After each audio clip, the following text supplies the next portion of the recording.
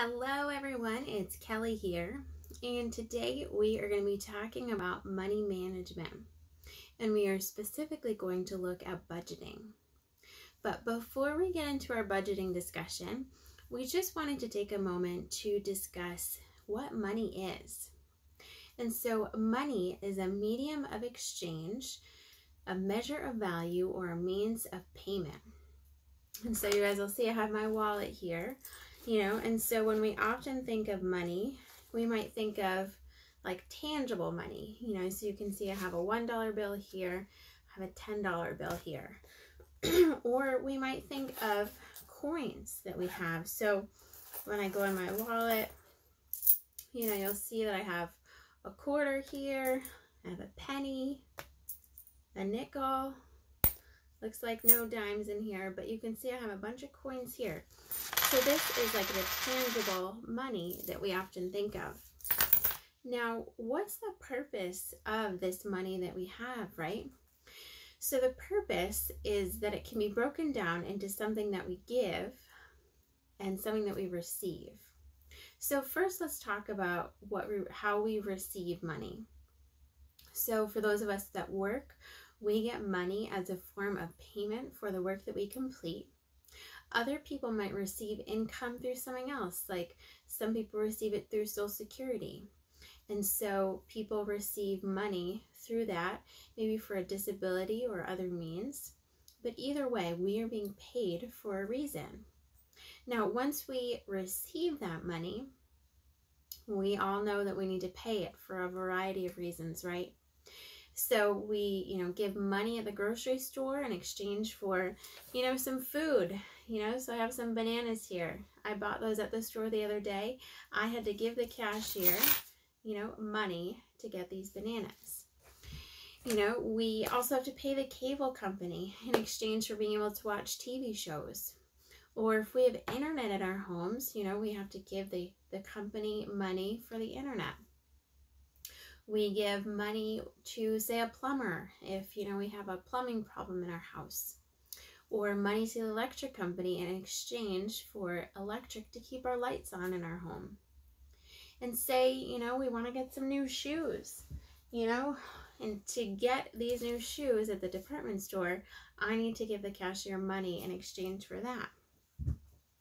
So list could go on and on, you know, so let's face it, we need money to do all these kinds of things.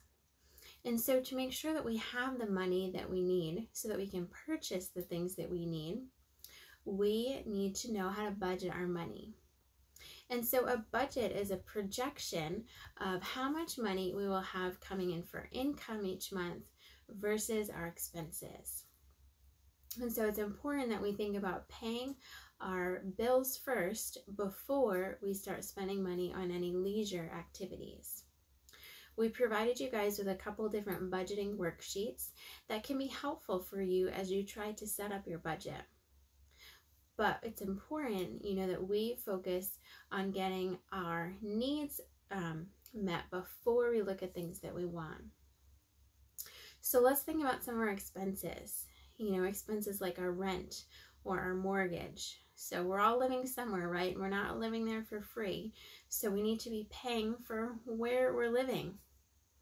Food, you know, I was talking about these bananas. We need to make sure that we have enough food in our home and not just bananas, but other things as well.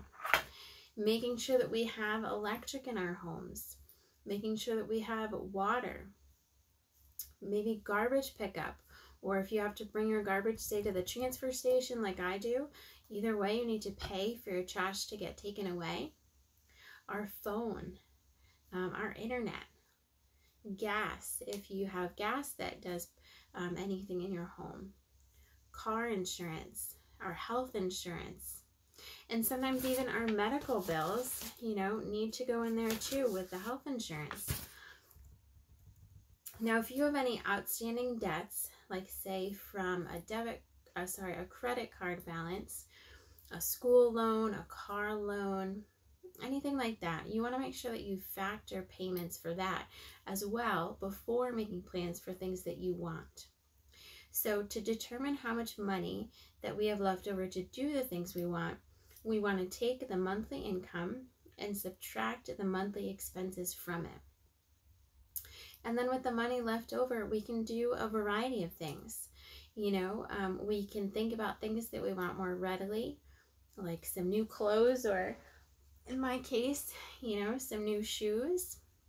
We can also be thinking about things that we can save up money for. We gave you guys a uh, worksheet where you can um, color in a savings jar each time you're adding money to something that you're saving for. So maybe you're saving up for a new vacation or maybe a new video game system that costs a lot of money. Either way, you know, having that visual of being able to see yourself, you know, saving up the money that you need for that purchase can be really exciting and really rewarding too. So, and it's also important to remember that it's okay to ask for help when you are working on a budget you know, sometimes it can get frustrating when we're trying to figure out how much money do I really need to put aside for this or for that. It can get difficult too when an unexpected expense comes up and all of a sudden your budget is like totally thrown off.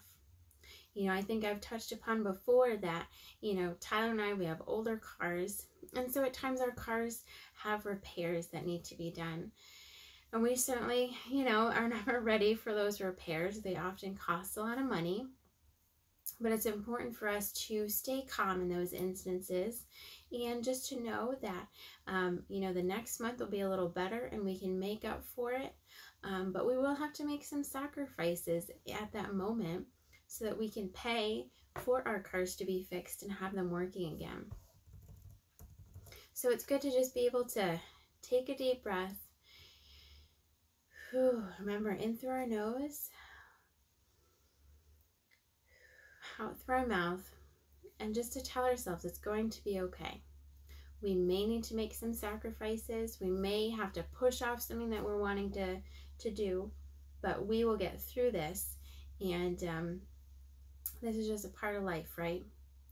So, you know, we hope that this information of budgeting is helpful as um, we just continue to work to manage our money well you know, and um, if you have questions about budgeting, really reach out to somebody that you trust, whether it's a family member, a provider, friend, or staff.